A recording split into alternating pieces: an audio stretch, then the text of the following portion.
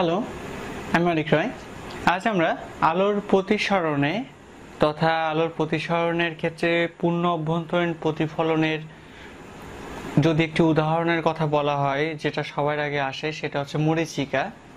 তো এই মরিচিকাটা সম্পর্কে জানব এবং সেই সঙ্গে মরিচিকাটা কীভাবে সৃষ্টি হয় সেটা আমরা চিত্রের সাহায্যে উপস্থাপন করার চেষ্টা করব।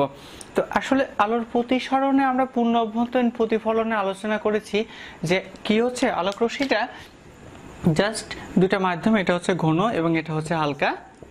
তো একটা আলোক রশ্মি এমন একটা কোণে আপতিত হচ্ছে যেন সেটা আবার কি হচ্ছে, ঘন মাধ্যমে ফিরে চলে আসছে, অর্থাৎ সংকট কোণ অপেক্ষা বড় কোণে আপতিত হলে, যেটা আমরা অলরেডি আলোচনা করেছি, আপতিত হলে আলোক রশ্মিটা কি হচ্ছে? আবার আগের মাধ্যমে ফিরে আসছে। আলোর এই ঘটনাকে বলা হচ্ছে আলোর প্রতিফল, পূর্ণ অভ্যন্তরীণ প্রতিফলন।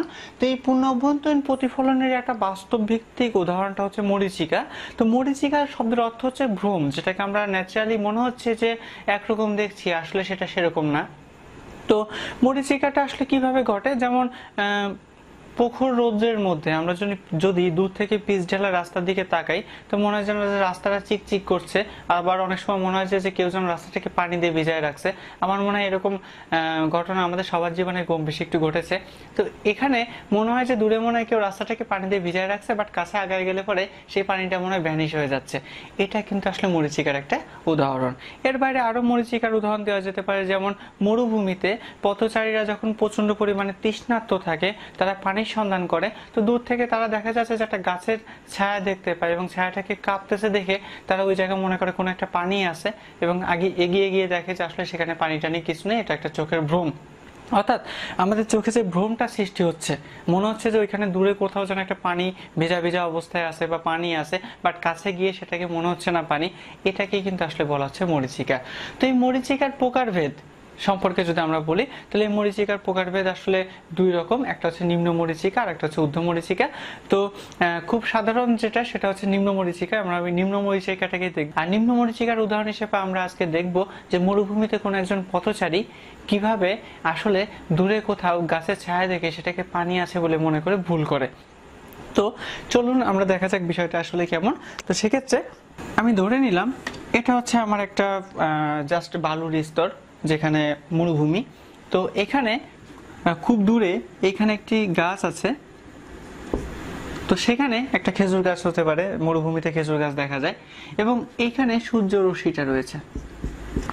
তো প্রথমেই আমরা গাছের কনসেপ্ট বা গাছে কি হবে সেটা চিন্তা না করি, এবং আমরা চিন্তা করি যে এখানে একজন লোক দাঁড়ায় আছে। জাস্ট একজন লোক, আমরা আপাতত এইভাবে একটু চিন্তা করলাম।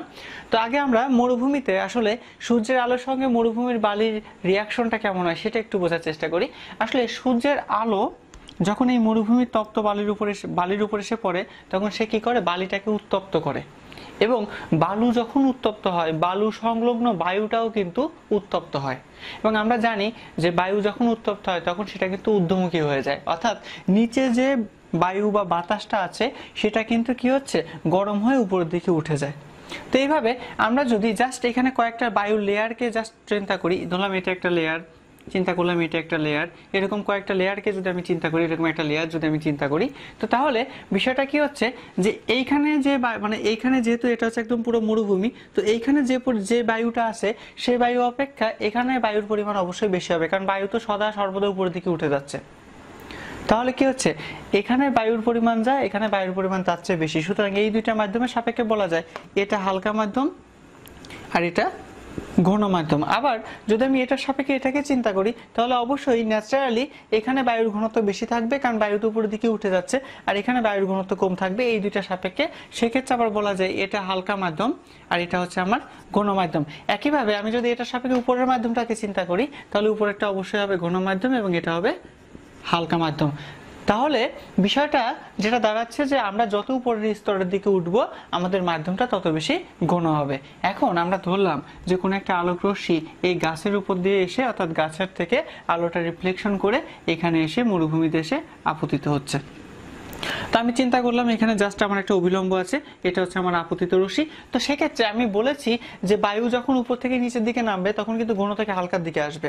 তাহলে এই আলোক রশ্মিটা কি হচ্ছে? ঘন থেকে হালকাতে যাচ্ছে। তো আমরা আলোর প্রতিসরণের নিয়মটা কি জানি? কোন আলোক রশ্মি যখন ঘন থেকে হালকাতে যায়, তখন সে অবিলম্ব থেকে দূরে সরে যায়। সুতরাং এটা কিন্তু কি হবে? কিছুটা এভাবে যেটা আসার কথা ছিল সেটা এভাবে না এসে কিছুটা বেঁকে অবিলম্ব থেকে দূরে সরে যাবে। দেন আমরা যদি এখানে আরেকটা অবিলম্বকে চিন্তা করি, তাহলে এই মাধ্যম আর এই মাধ্যম যদি আমরা মনে করি, তাহলে এটা অবশ্যই আমাদের কি মাধ্যম? হালকা মাধ্যম মানে এটা ঘন মাধ্যম এবং এই মাধ্যমের সাপেক্ষে এটা অবশ্যই হালকা মাধ্যম। সেক্ষেত্রে আলোক রশ্মিটা কিন্তু আবারও ঘন থেকে কি হচ্ছে? ঘন থেকে আবারও হালকাতে আসছে। তাহলে ঘন থেকে যখন কোনো একটা আলোক রশ্মি হালকাতে যাচ্ছে, তখন সে আরও বেঁকে যাবে এবং সে কি হবে? জাস্ট এভাবে কিন্তু এভাবে কিন্তু বেঁকে চলে আসবে।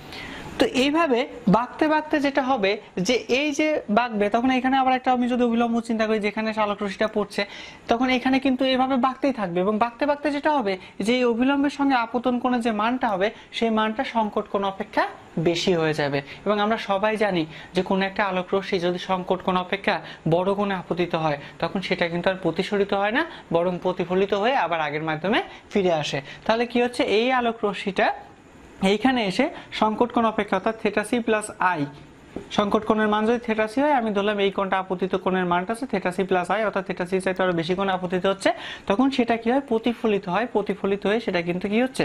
জাস্ট এইভাবে ব্যাক করে চলে আসে। এখন এইখানে কোন একজন পথচারী যখন এই যে আমি যে লোকটাকে এখানে ড্র করেছিলাম, ধরলাম সেটা হচ্ছে সেই পথচারীর চোখ, তো এই পথচারী এই যে তার চোখে আলোটা যখন এভাবে এসে লাগে তখন সে আলোর এই বক্র ঘটনাটা, অর্থাৎ আলো যে এইভাবে বাঁকতে বাঁকতে তারপরে যে তার এখানে আসছে, সেটাকে সে আসলে ধরতে পারে না। সেই জন্য সে যেটা করে যে সে এই আলোক রশ্মিটাকে জ্যামিতিক নিয়মে সোজা সামনের দিকে বর্ধিত করে দেয়। বর্ধিত করলে কি হয়, যেহেতু আমাদের এখানে গাছের একটা বিম্ব এভাবে বাঁকতে বাঁকতে এই লোকের চোখে এসে পড়েছে, অর্থাৎ এই বিম্বটাকে সে তখন কি করে? গাছের একটা উল্টো বিম্ব এখানে দেখতে পায়। এই উল্টো বিম্বটা দেখে তা সে দেখে এবং সেই জায়গায় তার একটা বিষয় আমি বলি যে মরুভূমিতে কিন্তু বেশ বাতাস থাকে। তার দরুন যেটা হয়, এই গাছটা কাঁপে। তার দরুন এই বিম্বটাও কাঁপে। তার দরুন গাছের এই ছায়াটাও কিন্তু অনবরত কাঁপতে থাকে।